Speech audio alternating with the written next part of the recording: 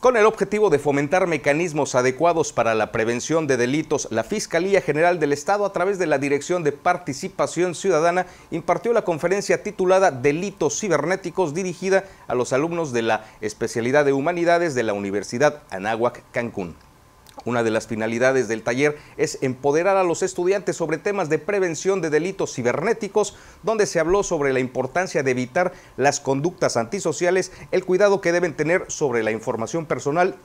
y la vulnerabilidad de los menores en las redes sociales.